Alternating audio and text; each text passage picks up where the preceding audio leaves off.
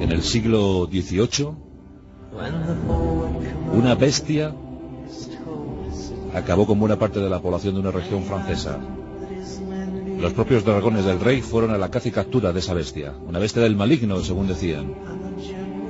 Cazadores de toda Francia, porque la recompensa era cuantiosa, querían localizar a lo que se intuía, podía ser un enorme, un gigantesco lobo. De lo que allí aconteció, os va a contar Bruno Cardeñosa en el capítulo 81 de nuestros Enigmas del Mundo.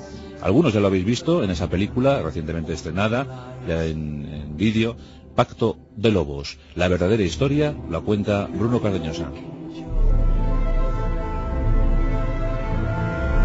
Entre 1764 y 1767, un animal desconocido llevó el pánico al corazón de Francia. En la comarca de Gévaudan, en la región de la Auvernia, el monstruo se cobró 121 víctimas. Decían que era parecido a un lobo pero de enorme tamaño y con un poder devastador inimaginable. Le calcularon 100 kilogramos de peso. El pueblo creyó que era el mismísimo demonio. Los hechos, perfectamente documentados, obligaron al rey Luis XV a intervenir.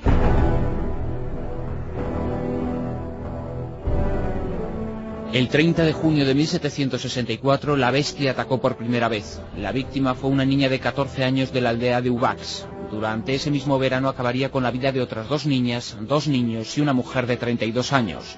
Ya en el invierno el sanguinario animal incrementaría su macabra lista de víctimas. Mataba dos veces cada semana.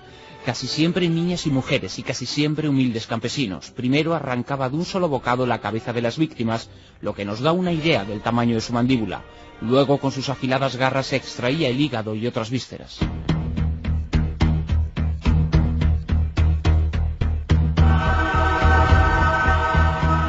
Antes de comenzar el siguiente verano, la bestia del Yebaudán se había cobrado ya 54 vidas, 40 de ellas en niñas y jóvenes. La corona intervino, enviando hasta la comarca una tropa de dragones, las fuerzas de choque del monarca. Cuatro compañías de esta caballería se desplazaron al lugar de los hechos. Monsieur de Hamel, el comandante de aquellas fuerzas, dirigió las batidas. Él mismo llegó a ver a la bestia. Quedó boquiabierto. Era tan grande como su caballo, saltaba más, era más ágil. Le disparó, pero como él mismo dijo, las balas parecían no traspasar su piel.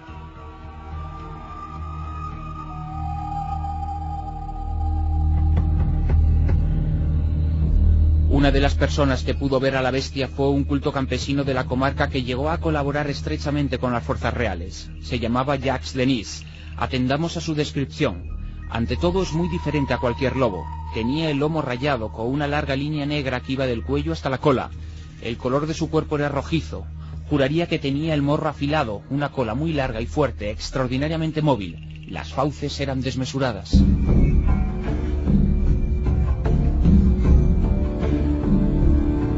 Un año después del comienzo de los ataques, el número de víctimas siguió creciendo. De poco sirvió la presencia de los dragones que no solo se las veían con la bestia, sino con los grupos de cazadores que les tendían emboscadas y pistas falsas. Al fin y al cabo, la recompensa por acabar con el animal era jugosa y más en aquellas tierras azotadas por la necesidad. Mataron decenas de lobos, pero en el verano de 1765 las víctimas volvieron a incrementarse, más de una decena de ellas.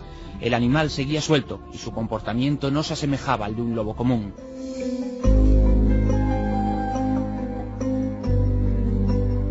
El rey envió a aquellas tierras a su arcabucero mayor, Antoine de Bonteners. Dijo haber atrapado al animal y lo llevó en presencia de Luis XV. Se trataba de una loba macrocéfala de unos 30 kilogramos. Nadie en Yebaudán pensó que ese animal fuera la verdadera bestia. Al cabo de unas semanas, volvió a matar.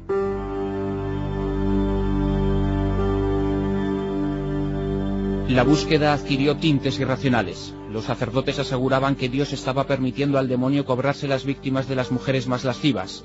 Los nobles, por su parte, acusaron a los cíngaros nómadas. Decían que las bestias de sus circos habían escapado. También se apuntó a un joven muchacho llamado Antoine Chastel.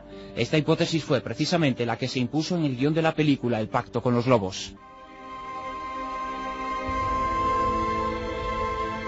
Chastel había recorrido África con una compañía comercial. Aún muy joven, con 19 años, volvió a la región. Criaba mastines alcibestrados, lobos, leones y tigres. El pueblo llegó a pensar que había cruzado a estos animales hasta dar con la bestia. Creían que al híbrido lo cubría con una coraza antes de salir a atacar, pero nunca pudo demostrarse.